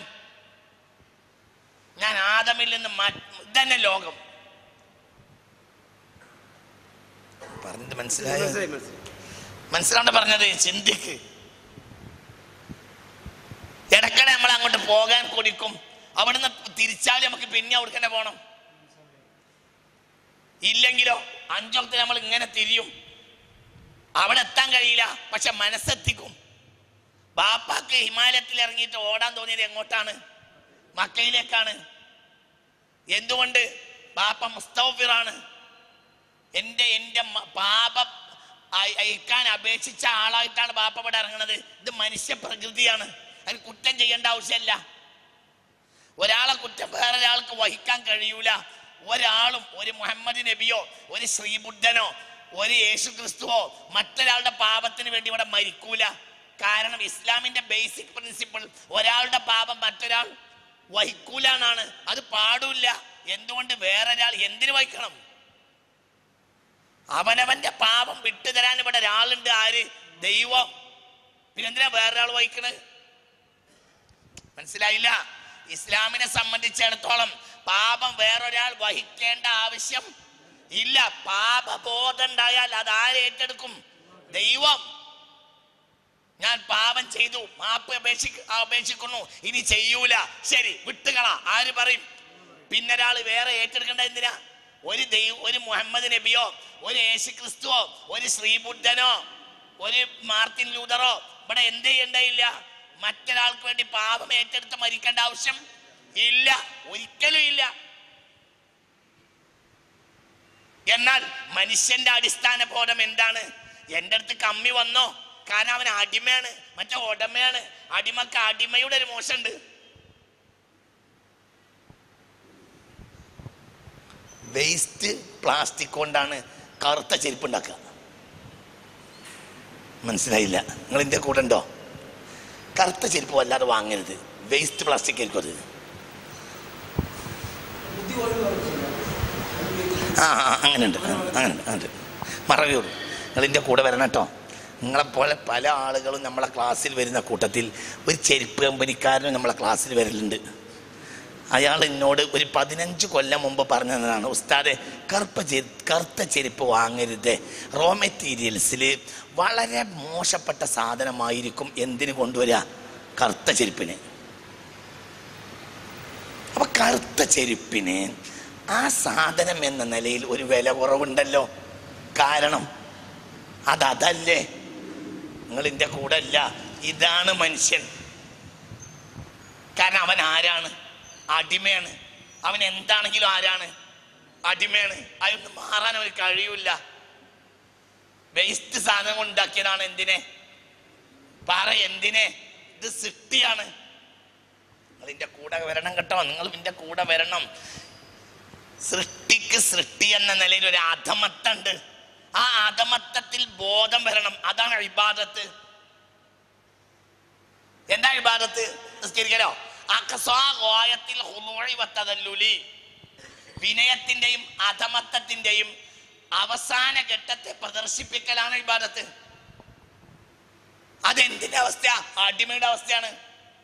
അതൊരിക്കലും പ്രകടിപ്പിക്കേണ്ടതില്ല ആർക്ക്? ഉടമക്കാരന്. അള്ളാഹു അക്ബർ. കാരണം അവൻ ആരല്ല? അടിമയല്ല. അവൻ ആരാണ്? ഉടമയാണ്. അപ്പൊ മനുഷ്യൻ അടിമയാണ് എന്ന ബോധമാ അവൻ ഉണ്ടാവണം. അത് മാറ്റാൻ അവന് കഴിയില്ല കാരണം അവൻ ആരാണല്ലോ? അടിമയല്ലേ? കറുത്ത ചെരുപ്പ് കറുത്ത ചെരുപ്പനല്ലേ അതിന് വെളുത്തെരുപ്പാവോ മനസ്സിലായില്ല. കറുത്ത ചെരുപ്പിന് വെളുത്ത ചെരുപ്പാക്കാൻ പറ്റുമോ പെയിന്റ് അടിച്ച നാലാം ദിവസം പോയില്ലേ? കറുത്ത ചെരുപ്പ് എന്തല്ലേ? കറുത്ത ചെരുപ്പന്നല്ലേ അതിന് വെളുത്ത ചെരുപ്പാക്കാൻ പറ്റുമോ അതെന്തല്ലേ? പറ അതെന്താണല്ലോ? കറുത്തിരിപ്പല്ലേ? എന്നത് എന്നതുപോലെ മനുഷ്യൻ ആരാണ്? അടിമയാണ്. ഈ ബോധമാണ് സ്റ്റൗഫാറ് ഞാൻ എന്നെ അറിയ ഞാൻ നിസാരനാണ് എന്ന എന്റെ അറിവ്. അപ്പോൾ പടച്ചോൻ തന്നെ അനുഗ്രഹിക്കും. സാരല്ല ഈ നിസാരനൊന്നും അല്ല. ഒരു പണിയില്ലാത്ത ഒരാൾ ഒരു പണിയില്ല. ഒന്നുമില്ല പത്ത് പൈസ ഇല്ല അങ്ങനത്തെ ഒരാൾ ഭൂലോകത്തെ മോലാളിന്റെ മകളെ കെട്ടിന്ന് സങ്കല്പിക്ക്. ആ അപ്പൊ എന്താ ഓന്റെ വിചാരം എന്താണ് എന്ത്? കെട്ടീന്റെ പിറ്റേന്ന് തന്നെ ഓൻ കാൽമ കാലിയാൻ കയറ്റി ഇരിക്കാൻ പാടില്ല. ഓൻ ഇടക്കിടക്ക് പറയണം എന്ത്? നിങ്ങളെ പെങ്ങളെ കെട്ടാൻ മാത്രമൊന്നും ഞാനില്ല. അപ്പൊ ആളിയാൻ എന്ത് പറയും? അത് പണ്ടത്തെ വർത്താനം ആളിയ. നിങ്ങളെ ഇനി പറയണ്ട. നിങ്ങളെ നമ്മൾ ഏറ്റെടുത്തില്ലേ? അതേ ആളിയാനോട് തിരിച്ചു പറഞ്ഞാലോ? മനസ്സിലായില്ല? മനസ്സിലായില്ല. ഞാൻ ആരാന്ന് മനസ്സിലാക്കി പറഞ്ഞാൽ പെങ്ങൾക്ക് മാപ്പിള വേറെ നോക്കി ഊരക്ക് ചവിട്ടും. നിങ്ങളോടായിപ്പോയല്ലോ ഇത് പറഞ്ഞ്. നിങ്ങൾക്ക് പറഞ്ഞത് മനസ്സിലായില്ലേ? ഒരു പണിയില്ലാതെ മുക്കത്തങ്ങാടി കൂടെ തെണ്ടി തിരിഞ്ഞ് നടന്നോനാണ് എന്നൊരു ബോധം അവന് വേണം. ആ ഇടക്കിടക്ക് അളിയനോട് പറയും ചെയ്യും. ചിലപ്പോ അമ്മോശാക്കാനോട് പറയും.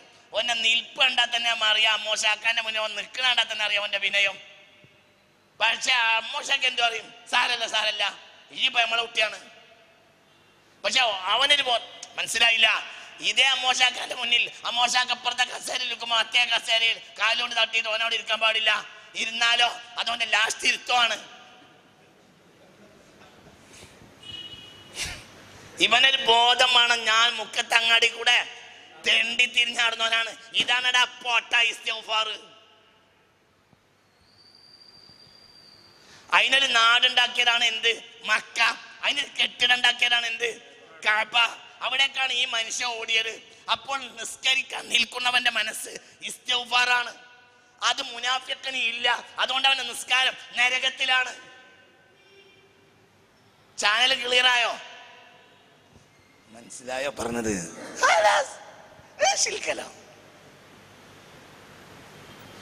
തന്നെ അപ്പൊ ഒരു പെൻഡുലത്തിന്റെ സൂചിക്ക് വടക്ക് നോക്കിയുടെ സൂചി വടക്കോട്ട് നിശ്ചയിച്ചതുപോലെ മനുഷ്യന്റെ സൂചി എങ്ങോട്ട് നിശ്ചയിച്ചിട്ടുണ്ട്? മക്കയിലേക്ക്. മക്ക ഇസ്തോഫാറിന്റെ കേന്ദ്രമാണ്. എന്ന് അവിടുന്ന് പോയി പോന്നാലും പിന്നെ അങ്ങോട്ട് പോകാൻ തോന്നും. എന്ന് ഈ സൂചി എങ്ങോട്ടാക്കിയാലും പിന്നെ ആ സൂചി സൗകര്യം കിട്ടാൻ അങ്ങോട്ട് തന്നെ. കാരണം അതിനെ പടച്ചോ നിശ്ചയിച്ചതാണ്. ഏതെങ്കിലും സൂചി തല കുത്തനെ ആയാൽ ആ മെഷീൻ കേടായി അതിന്റെ അർത്ഥം. അപ്പോൾ ശുദ്ധ പ്രകൃതി ഇസ്ലാമാണ്. ശുദ്ധൻ മുമിനാണ്. അല്ലാത്ത കാലത്തോളം മനുഷ്യന്റെ പ്രകൃതി നശ്വരാണ് ഇസ്ലാമും ഈമാനും ഉണ്ടാക്കേണ്ട. നേരെ നിന്നാ മതി. മെഷീൻ കേടായാൽ ഈമാൻ പോയി. ഇല്ല. മെഷീൻ ക്ലിയർ ആകലാണ് എന്ത്? ഈമാനും ഇസ്ലാമും. അപ്പോൾ ഇസ്ലാം ശുദ്ധ മതമാവും പ്രകൃതി മതം. അതായത് ഈ ഈ പെൻഡുലത്തിന്റെ സൂചി ഇന്ന ദിശയിലേക്ക് നിൽക്കണമെന്ന് ഇൻസ്റ്റാൾ ചെയ്ത് നിർത്തിയിട്ട് അതിന്റെ നിയമം ഒരു കടലാസിൽ എഴുതി വിടുന്നതിനാണ് എന്ത് പറയാ? അതാണ് അത് അതിന്റെ പ്രകൃതി. നേരെ എതിർഭാഗത്തേക്ക് ചെരിഞ്ഞാൽ അത് അതിന്റെ പ്രകൃതിക്ക് വിരുദ്ധാണ്. അപ്പൊ ഇസ്ലാം പ്രകൃതി മതമാണ് നമുക്ക് നിങ്ങൾ.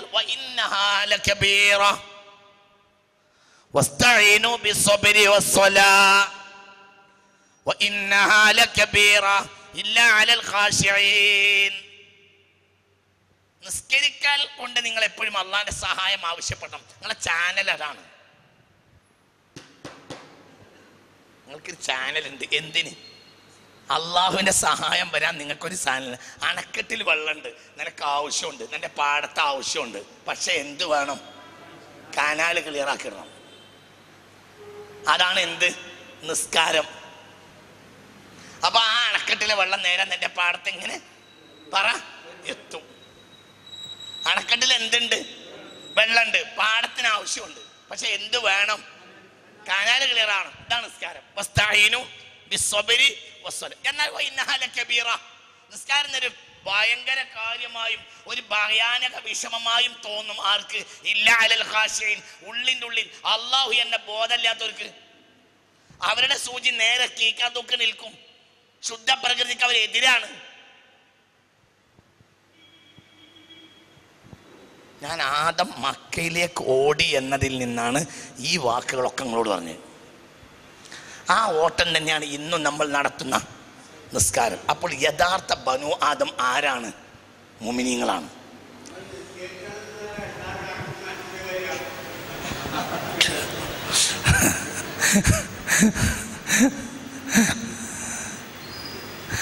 അല്ലാ നിങ്ങൾക്ക് പറഞ്ഞത് മനസ്സിലായോ?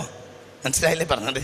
തന്നെ നമ്മൾ നിസ്കാരം നമുക്കൊരു സ്വാഭാവികമായ കർമ്മമായി തോന്നിയാൽ നമ്മളെ മെഷീന് കേടില്ല നേരെ മറിച്ച് നിസ്കാരം നമുക്കൊരു പ്രയാസമായി തോന്നിയാൽ മനസ്സിലാക്കാം നമ്മളെ മെഷീന് കേടാണ് ഒക്കുറത്തു ഐനി ഫിസ്വല എൻ്റെ കണ്ണ് കുളിർക്കുന്നത് നിസ്കാരത്തിലാണെന്ന് മുഹമ്മദ് മുസ്തഫ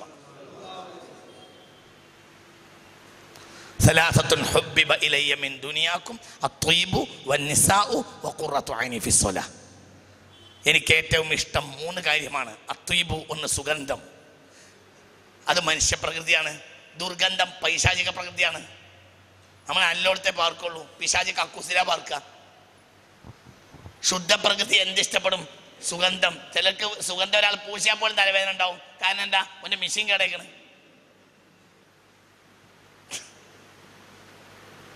മനസ്സിലായില്ല? ഞാൻ കണ്ടിട്ടുണ്ട്. സെന്റ് നമ്മൾ നല്ല വൃത്തിയുള്ള അത്തറ് നിസ്കബിയൽ പൂശിയിട്ട് കാറ് കയറി ഇരുന്നിട്ട് ഒരാൾ ക്ഷമകേട് പറഞ്ഞു. സാറേ പിന്നെ സുഖം കിട്ടുന്നില്ല. നമുക്ക് കാറിന്റെ ഡോർ തുറന്നിടുക എന്തുകൊണ്ട്? ഇത് മിസ്കബിയലാണ് മറ്റതല്ല അടിക്കണതല്ല. അപ്പോൾ ഇത് ഉണ്ടെന്ന് വിചാരിക്കുക ഇത് മിസ്കബിയലാണ് മക്കത്തുനിന്ന് വാങ്ങിക്കൊണ്ടുവന്ന മിസ്കബിയള പൂശിയത്. ഇവനെ തലയിൽ കയറുന്നില്ല എന്തുകൊണ്ട്? ഇവന്റെ ഇവന്റെ മെഷി കേടാണ് മനുഷ്യ. മനുഷ്യന്റെ മെഷി നന്നാവുമ്പോൾ അവന് സുഗന്ധം ഇഷ്ടാവും. മെഷീൻ കേടാവുമ്പോൾ ദുർഗന്ധം ഇഷ്ടാവും. മനുഷ്യപ്രകൃതിയിലാണ് മലക്ക്. ദുർ യഥാർത്ഥ മനുഷ്യപ്രകൃതിയിൽ ദുർഗന്ധമേറ്റു മലക്കുകൾ വെറുക്കുന്നതാ.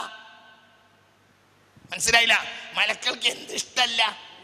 അതേ സമയത്ത് പിശാജ് പാർക്കൽ എവിടെയാണ്? കക്കൂസിൽ അതുകൊണ്ട് കക്കൂസിലോ പാർക്കണോണ്ടല്ലേ? ഖബായിസ് പള്ളി കയറുമ്പോൾ പറയില്ലല്ലോ. പള്ളി ബിക മിനൽ അറിയോ? ആ പറയും മനുഷ്യന്മാരെ. പള്ളിയിലെ കക്കൂസ് കയറുമ്പോൾ പറയും. എവിടെ കയറുമ്പോ പറയില്ല? പള്ളി കയറുമ്പോ അറിയില്ല കാരണം അവിടെ ചെയ്താൽ മറക്കൂലല്ലോ ദുർഗന്ധം ആണ് ആരിഷ്ടം ചെയ്താൻ ഇഷ്ടം. അതിന് നേരെ വിരുദ്ധാണ് ആരുടെ ഇഷ്ടം? മനുഷ്യന്റെ ഇഷ്ടം.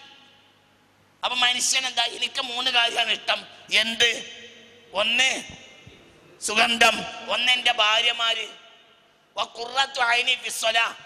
നിസ്കാരത്തിൽ കണ്ണ് കുളിർത്ത് കിടക്കുക. എന്നാൽ ആയത്ത് വൈനഹാല കബീറ. ചില ആളുകൾക്ക് നിസ്കരിക്കാനാണ്ട്. കഴിയൂല. എന്തുകൊണ്ട്? എന്ത് കേടാണ്? അതിന്റെ മെഷീൻ കേടാണ്. ഇപ്പം നമ്മളെ മനസ്സ് എപ്പോഴും ഇങ്ങോട്ട് തിരിയാൻ കൊതിക്കുന്നുണ്ടെങ്കിൽ മനസ്സിലാക്കാം അതാരുടെ ശൈലിയാണ്. അങ്ങനെ അങ്ങനെ അങ്ങനെ അങ്ങനെ പറയാ. ആദമിന്റെ ശൈലിയാണ്. ആദം ഹിമാലയത്തിൽ ഇറങ്ങിയപ്പോൾ ആദ്യം ഓടിയത് മക്കത്തേക്കാണ്. ഇതിന് ആശയം മനസ്സിലാക്കാം. ആദ്യമായി മക്കയിൽ പോയത് ഇന്ത്യക്കാരാണ്. നമ്മളെപ്പോ വിളിച്ചു. അക്ബർ ഫലാ. എങ്ങോട്ട് വിളിച്ചു? മക്കൾ അവിടെയാണ് നിന്റെ വിജയം. നിന്റെ മിഷൻ ക്ലിയർ ആണെങ്കിൽ അങ്ങോട്ട് തിരിയും. എന്നാൽ ഇന്ന് ആദ്യം തിരിഞ്ഞ ആളാരാ? ആദം. എവിടുന്നാണ് ആദ്യം ഓടിയത്? ഇന്ത്യന്ന്. അതുകൊണ്ട് ഏറ്റവും വിവാദത്തിന് മനസ്സിലാക്കണം ഒരു വല്ലാത്ത മണ്ണാണ് ഏത്? ഇന്ത്യ അതിൽ അഭിമാനിക്ക്. എന്റെ മണ്ണ് എന്റെ രാജ്യം അതിൽ അഭിമാനിക്ക്.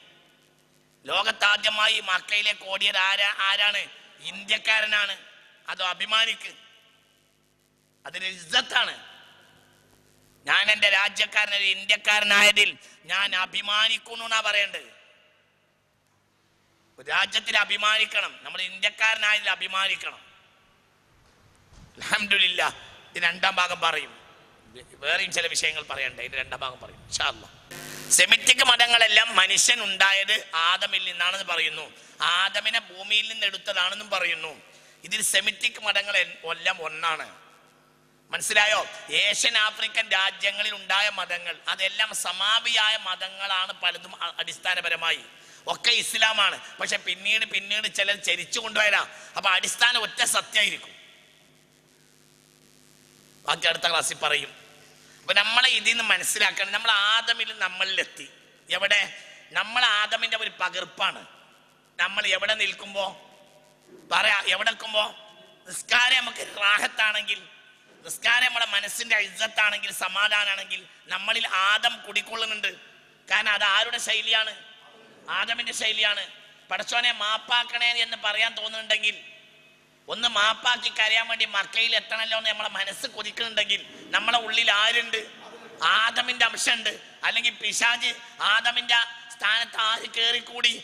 പിശാജ് കേറിക്കൂടി എന്ന് മനസ്സിലാക്കണം. തിരിച്ചറിവാണ്. എൽമിന്റെ സദസ്സിൽ ഇരിക്കുമ്പോൾ ദിക്ർ ചെല്ലുന്നതിൽ തെറ്റുണ്ടോ? തെറ്റില്ല. പക്ഷെ പറയുന്നത് മനസ്സിലാകാത്ത വിധത്തിൽ ദിക്റിൽ മുഴുകരുത്.